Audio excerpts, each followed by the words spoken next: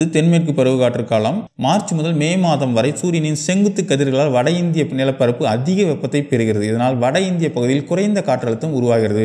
So March April May மாதத்தில் பார்த்தீங்கன்னா சூரியனுடைய செங்குத்து கதிர் வந்து வட இந்தியா நிலப்பரப்பில் அதிகமாக வெப்பத்தை பெறுது. அதனால் வட இந்தியா பகுதியில் குறைந்த காற்றழுத்தம் உருவாகுது. அதாவது காற்று ரொம்ப ஹீட் ஆகுது. அதனால் குறைந்த காற்றழுத்தம் உருவாகுது. இச்சமயத்தில் காற்றானது அதிக காற்றழுத்தம் உள்ள இந்திய பெருங்கடலிலிருந்து வடக்கு நோக்கி வீசுகிறது.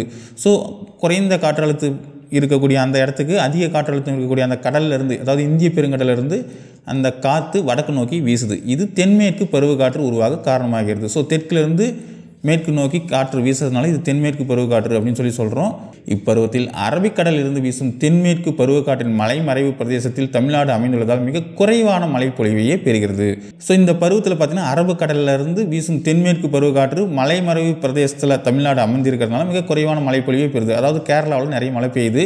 கேரளாவை தாண்டி மலையை கேரளாவுக்கு அடுத்தது மலையை தாண்டி தமிழ்நாட்டுக்கு மழை வர்றது ரொம்ப சிரமமாக இருக்குது அதனால் மழை ரொம்ப கம்மியாகவே பெய்யுது. இப்பருவத்தின் மழைப்பதிவு மேற்கிலிருந்து கிழக்கு நோக்கி குறைகிறது.